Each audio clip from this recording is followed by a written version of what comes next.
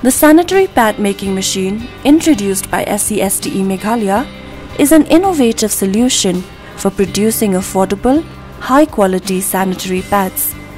Compact and user friendly, it can produce 200 to 250 pads per hour with minimal training, ensuring efficiency and quality while reducing production costs and waste. This machine empowers women entrepreneurs by enabling small production units that provide affordable menstrual hygiene products to communities.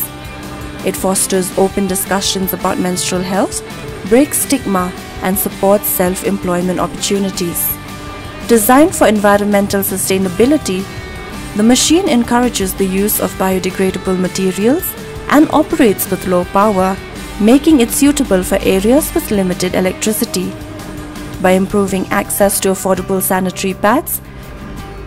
It addresses critical health and hygiene challenges, particularly in underserved areas. Thanks to SCSTE Meghalaya, this innovation is transforming lives, promoting health, and empowering women, contributing to a healthier and more equitable society.